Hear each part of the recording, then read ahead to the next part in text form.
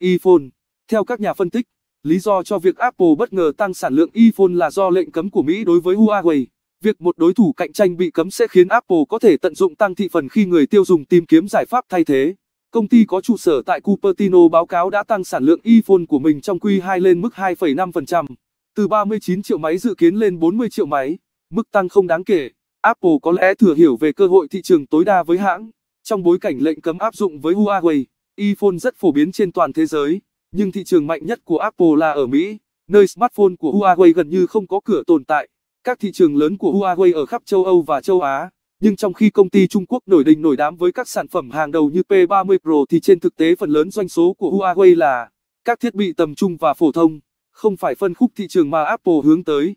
Trên thực tế, các nhà phân tích của Cowen tin rằng vẫn có thể có những rủi ro nhất định đối với hoạt động kinh doanh của Apple, do cuộc đối đầu thương mại đang diễn ra giữa Mỹ và Trung Quốc. Khả năng lệnh cấm hoặc thuế bổ sung đối với hàng hóa Apple sản xuất tại Trung Quốc hiện có vẻ khó xảy ra, nhưng dù sao vẫn còn tồn tại trên lý thuyết.